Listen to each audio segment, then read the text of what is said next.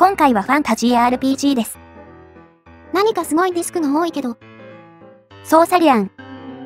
日本ファルコムから1987年に発売されたアクション RPG です。今回は、翌年に出た PC98 版でプレイを進めていきますよ。これだけのディスクだと相当長いのかな？ソーサリアンは少し変わっていて一つのシステムの上に複数のシナリオで構成されています。そのディスクにも複数のシナリオが入っているんですよ。じゃあ、一つのシナリオはそこまででもないのかな？そうですね。今後も他の実況と並行で少しずつ進めていきたいと思ってますよ。一通りシナリオは準備していますので。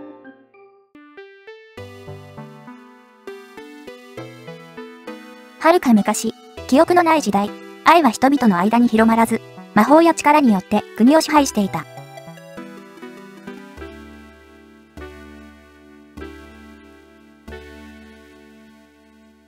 己の強さと勇気を試すために、不安定な冒険をする男たちがいた。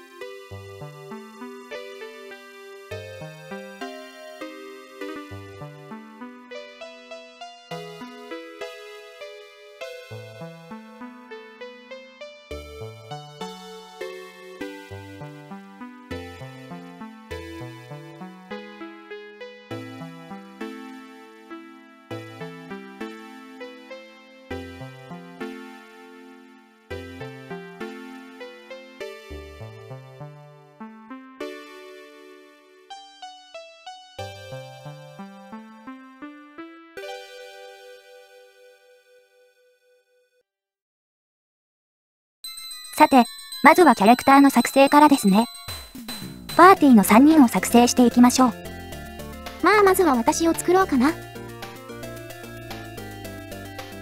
あ、か、リット。上から戦いにおける職業、性別、武器による攻撃力、魔法の威力、防御力、魔法への抵抗力、生命力、器用さ、魅力、年齢となっていますよ。とりあえず戦士にしようかな。顔が変わるんだね。これは、まんま戦士で。こんな感じかな。ではこの調子であと2人作りましょう。パーティー全員作るんだね。4人パーティーなんですが、NPC が入ったりで3人でしかできないシナリオもありますので、聖火さんは魔法使いにしようかな。こんな感じかな。あと一人はゆかりさんにしようと。ゆかりさんはエルフにしたよ。キャラクターを見るで作成したキャラクターを確認できますよ。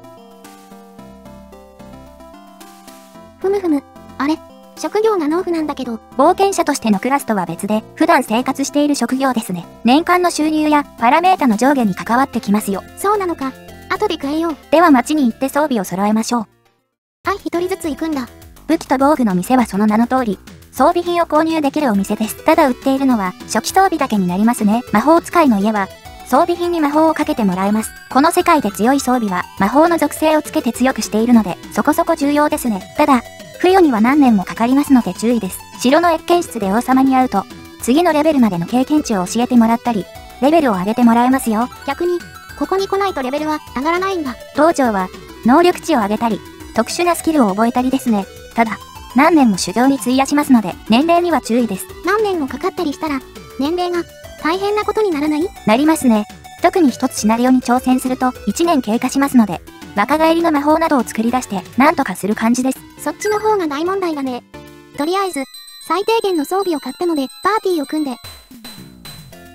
念のために、ヒールの薬を一つ買っておいたよ。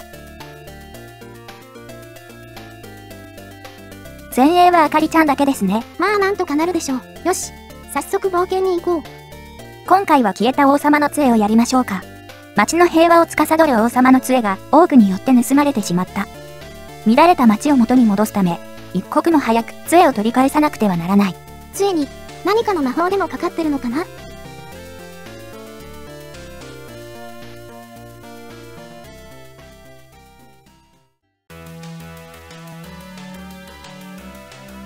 これが攻撃で、こっちが魔法か。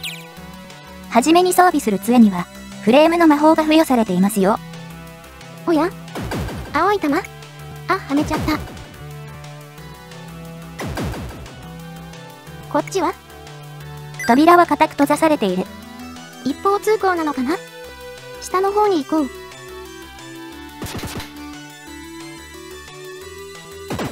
う。うわ、迷路になってるのかな？そうですね。あとパズル的要素もありますね。あ、誰かいる。おお、よくぞこのダンジョンへ来られた。町の名はグーラン。王様の杖を取り返そうとここへ来たのだが、足に傷を負ってな。ここで傷も癒えるのを待っておるのだ。そなたの勇気を見込んで頼みたいことがある。町の代わりに王様の杖を見つけ出してもらいたいのだ。わしの知っている限りの情報をお主に教えて信ぜよう。困った時はいつでも来るがよい。わしはいつもここにおるでな。まずは、青い玉を2つ見つけ出すことだ。このダンジョンには入り口の他にもう2つの青い玉が存在する。1つはトゲの中に、もう1つはスケルトンの頭上にある。その2つの玉を見つけたら、2つ並んだ壺の中に入れてみるがよい。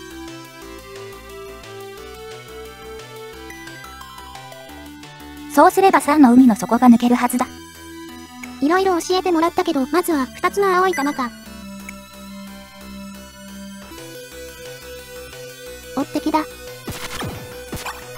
ここは先に進んじゃおう。うわ、トゲトゲゾーン、ここにあるはずなんだよね。あった。よし、脱出。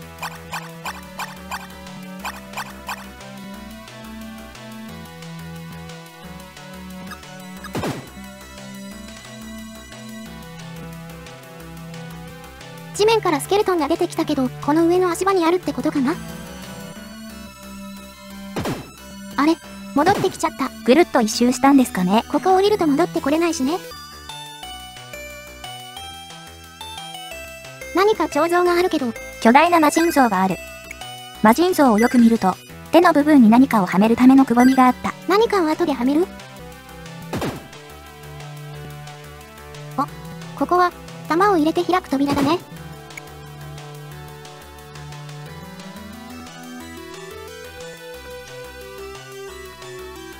ここは、水に浸ってる感じかな？いや、ダメージ受けてるよ。ここが3の海でしょうね。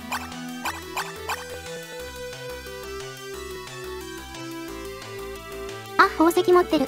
ひし形の宝石が魔人像の手の中にはめられている。しかし何か強力な力で抑えられていて、取ることができない。魔人像の台座をよく見ると、一本の管が左へ伸び、下の洞窟の石のスイッチへと続いている。きっと宝石を抑えている。力を解くためのスイッチに違いない。スイッチって、さっき、下に見えたやつだよね。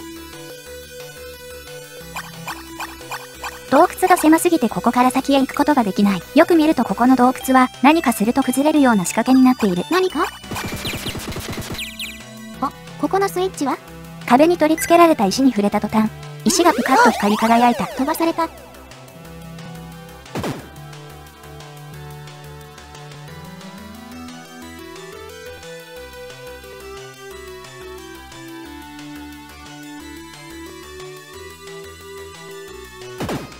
ここはもしかしてスケルトンの上の土台？そこを調べてみてください。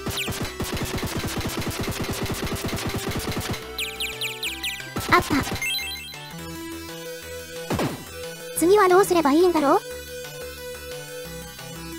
？3の雫の滴る部屋に魔人像は現れておるか。もし現れておったら、それにひし形の宝石をはめるがよい。そうすれば、3の海の奥の閉ざされた道が開かれるであろう。?3 の雫の滴る部屋？死ぬでないぞ。どこかに、その3の雫の滴る部屋があるんだよね。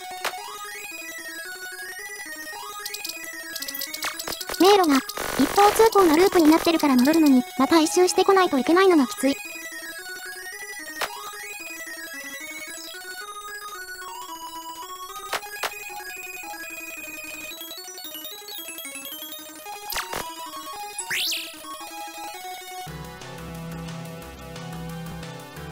あ、ここに壺があるよ。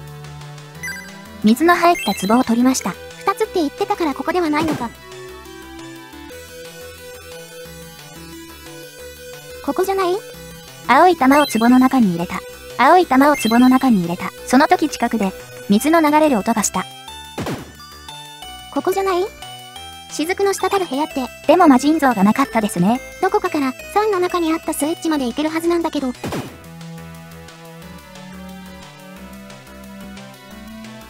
空っぽの壺がある。水の入った壺から空っぽの壺へ水を注ぎ込んだ。その時近くで何かが外れるような音がした。引いてる。さっきのがそうだったんだ。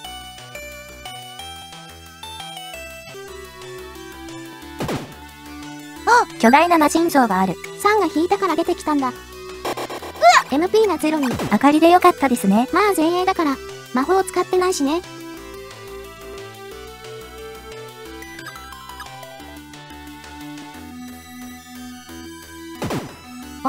お、ここから、あのスイッチまで行けそう。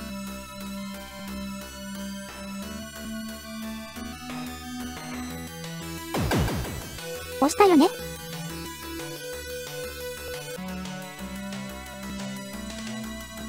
げ、すべての技術を忘れたって、スキルとかでしょうか。ひし形の宝石を取りました。ようやく手に入れたよ。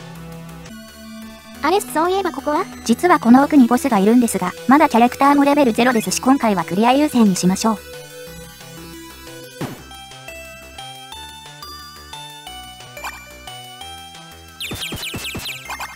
ひし形の宝石をはめました。魔人像に宝石をはめたら、遠くで岩の崩れる音がした。きっとここだよね。お、いけるようになってる。おそらく杖を盗んだオークですね。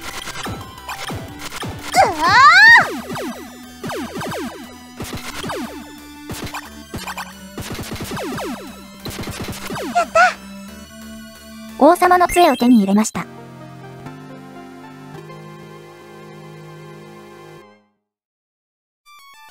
宝箱の中には何もない。いや、そこの方をよく見ると、金色に輝く剣と薬草が置かれてあるロングソードを手に入れました。聖ジを見つけました。こんなところかな。よし帰ろう。そういえばおじさんは？おお、それは王様の杖ではないか。オークどもからそれを取り戻したのか。大したものだ。心から拍手を送るぞ。わしも足が治り次第、このダンジョンを出よう。まあ大丈夫なのかな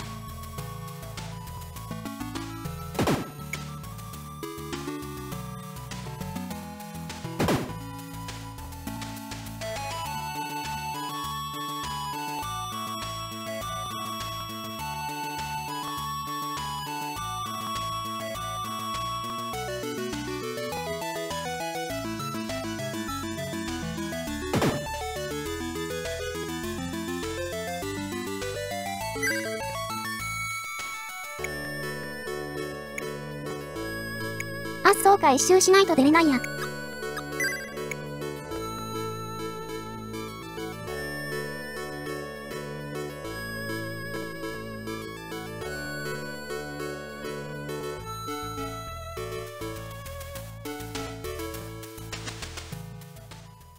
勇者よ、よく王様の杖を持ち帰ってくれた。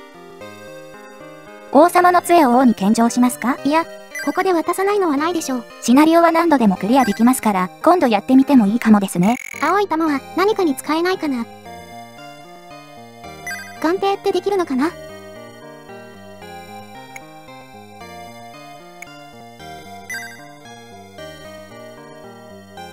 あ、鑑定のスキルがないと鑑定はできないか。後で鑑定してみようかな。ロングソードは、もちろんもらうとして。この壺はいらないよね。